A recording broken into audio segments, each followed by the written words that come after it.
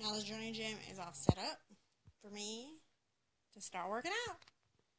I'm super excited and I hope you all follow as I progress with my fitness journey. And also, coming soon will be actual videos of me working out on the equipment.